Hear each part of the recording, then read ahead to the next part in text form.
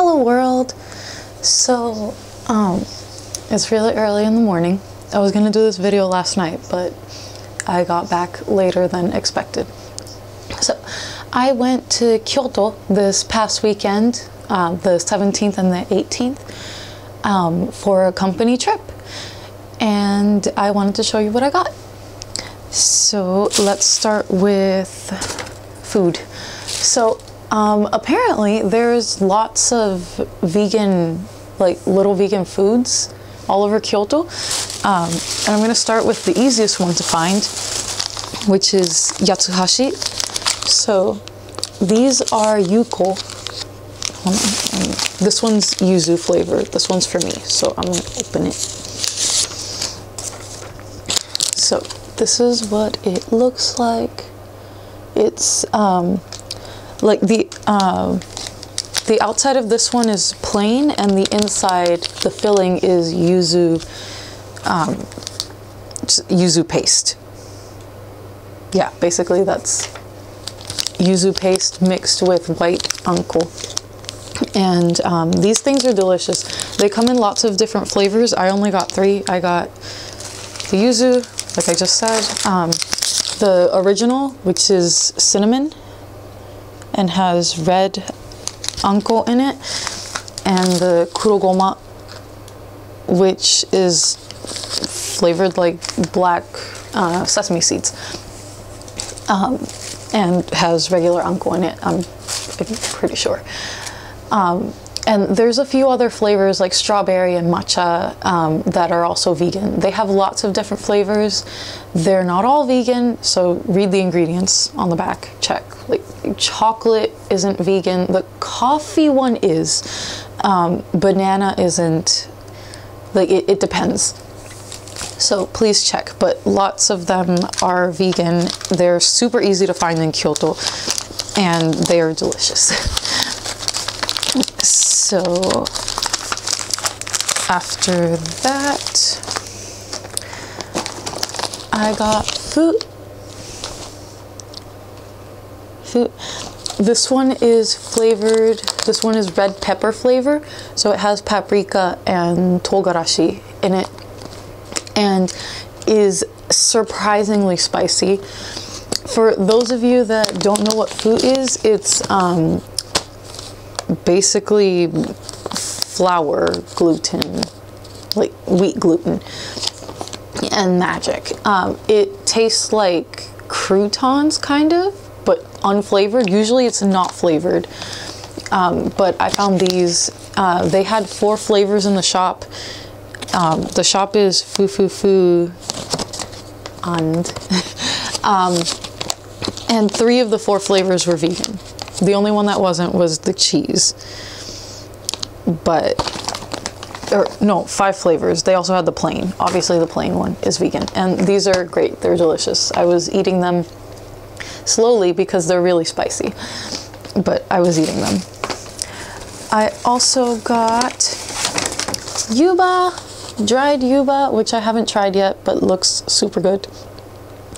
Um, yuba is tofu skin um, so, like in theory, it should be vegan, right? It isn't always, depending on what dashi it's cooked in, but this is not cooked and doesn't have anything in it except for tofu. That's the only ingredient. Tofu is the only ingredient, if you can catch that. Um, but I have tried it cooked before. This is dried, so you can just put it in soup and it'll um, go back to normal but it's really good. I really like it. It's just, it tastes like tofu, but sliced super thin. So that's what I got from that shop. I also got some shichimi and ichimi. No, these are ichimi. This one is black ichimi, and this one is yuzu ichimi. And they are on fire. Like, hold on, let me show you the um, their the company's logo. This uh, is a really accurate representation of what will happen after you try this. Um, it really is on fire. It was a lot spicier than I expected. I put a little bit of it on a sweet potato and I put way too much. Way too much. Um, but it's super famous in Kyoto and was really interesting. So I got some.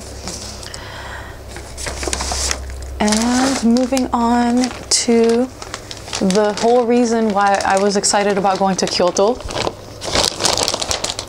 Volks! Tenshi no Sato is there and I made a reservation. I put in for a reservation all the way back in September.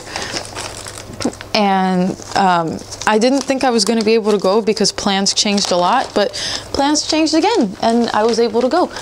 I didn't place a full choice system order like was the original goal, but uh, because now I'm looking for a DRSD Una to be my third um, F1. But I did get um, the hands that I wanted, the HO3. You can only get sunlight option parts at Tenshi no Sato, as I found out the hard way after ordering her. So I was able to pick up those, and I picked up some YOSD hands because I would like to have a YOSD someday, but I don't know when I'm going to go back to Kyoto. And this is the easiest, cheapest way of finding YOSD option parts.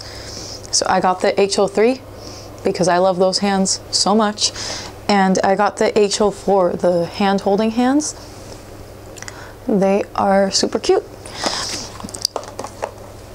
So yeah, that's all that I got at Volks. I actually, on my way home, I stopped by Akihabara.